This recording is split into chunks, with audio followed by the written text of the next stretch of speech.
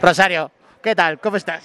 Muy bien, encantada de estar aquí, disfrutar un poquito esta noche y nada, eso hemos venido. Bienvenidos a alguna peli de zombies. Exacto, a mí los zombies no me dan nada de miedo, la verdad, me gustan porque soy un poco rarilla para todo eso, entonces, pues eso, tengo muchas ganas de ver la peli. Rosario, ¿qué tal estás a día de hoy? A día de hoy estoy mejor que nunca, de verdad. Estoy muy contenta, muy feliz con todo lo que estoy viviendo y encantada de por mi nueva vida y nada, seguir así, centrada en mi futuro profesional y en mi presente.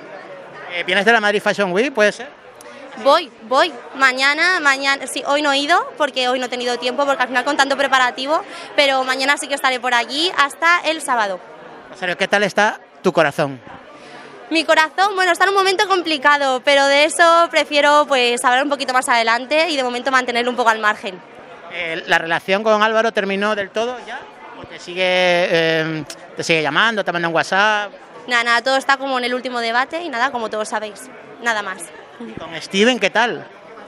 Con el tema de Steven, la verdad que es algo que prefiero de momento no tocar, mantenerlo en mi vida privada y cuando me sienta un poquito más preparada o considere que tiene la importancia que debe de tener, sí que me pronunciaré sobre ello, pero de momento, a día de hoy, lo que te he dicho, estoy muy contenta, centrada en mi futuro profesional y, y nada, nada más te puedo contar. ¿Qué te hace para enamorar a Rosario, una chica como tú? Pues, ¡buf! eso es muy complicado, que lo ha pasado, yo lo he pasado muy mal, así que lo tienen un poco difícil. Steven se tiene que poner las pilas.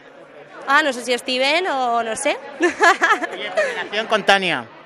Con Tania, pues nada, a día de hoy pues llevamos caminos diferentes y poco más te puedo contar sobre eso.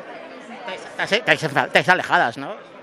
Sí, ella está centrada en su pareja, yo me junto más con otras amigas que al final tengo más cerca, pero vamos que no tengo ningún tipo de problema con ella y, y nada, simplemente llevamos caminos diferentes.